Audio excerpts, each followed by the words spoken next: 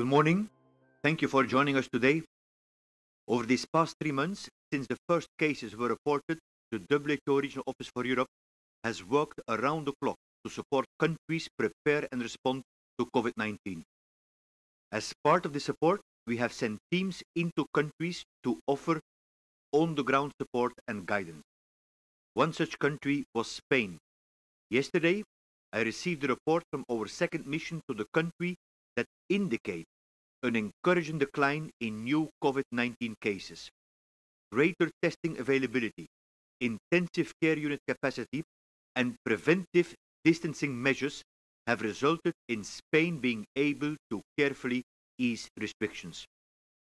Every signal that the virus is being controlled, managed, mitigated is a good signal. However, my message today remains one of caution. Complacency could be our worst enemy at this time.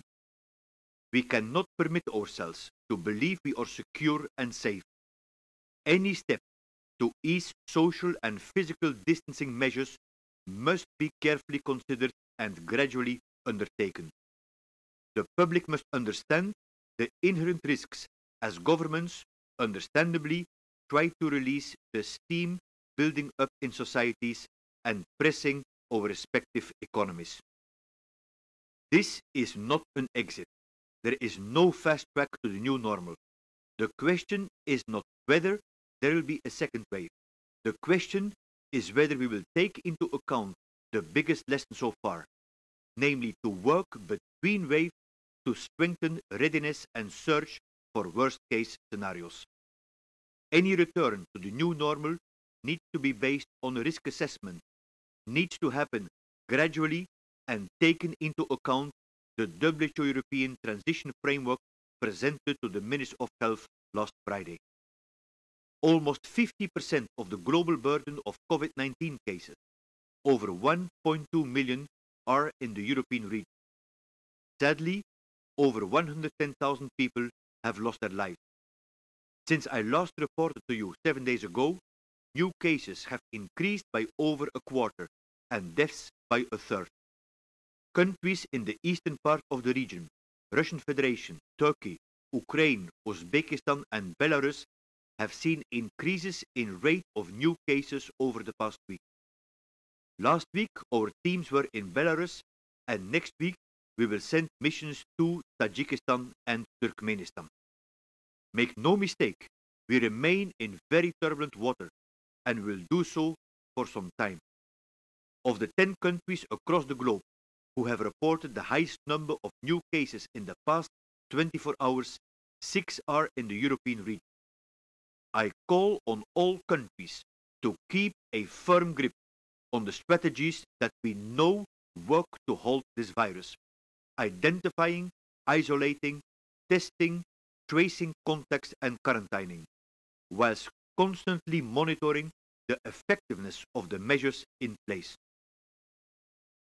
Let me now turn to the deeply concerning picture that has been emerging of COVID-19 in long-term care facilities in the European region and globally in recent weeks.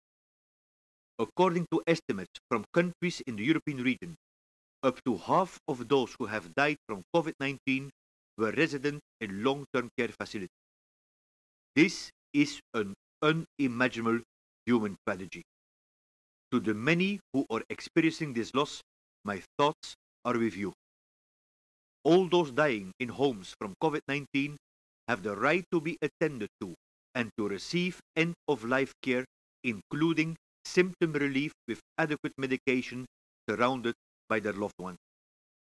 People who are suffering from physical and or mental disability, often at higher ages, are particularly vulnerable to this virus. Their advanced age, underlying health conditions, cognitive challenges in understanding and following health and hygiene advice due to intellectual disability or dementia, for example, are all factors that put them at greater risk. Many today are prevented from receiving visits from family and friends, no longer getting the emotional and physical support that such visits provide. Sometimes residents face the threat of abuse and neglect. and yet equally troubling, the way that such care facilities operate, how residents receive care, is providing pathways for the virus to spread. The role of the public sector, leaving no one behind, cannot be overestimated. Even among very old people who are frail and live with multiple chronic conditions, many have a good chance of recovery if they are well cared for. This pandemic has shone a spotlight on the overlooked and undervalued corners of our society. Across the European region, long-term care has often been notoriously neglected, but it should not be this way. Looking to the future, transitioning to a new normal, we have a clear investment case for setting up integrated, person-centered long-term care systems in each country. We have inherited the European right, values and opportunities that define us from the generations that came before, so we must care for them. It is our duty to leave no one behind and to step up. So what must we do? First, empower care workers. Two, change how long-term care facilities operate. And three, build systems that prioritize people's needs. On my first point, the dedicated, compassionate people working in long-term care facilities who are so often overstretched, underpaid and unprotected are the unsung heroes of this pandemic. We must do all we can to ensure that those workers have personal protective equipment and other essential supplies to protect themselves and those they care for.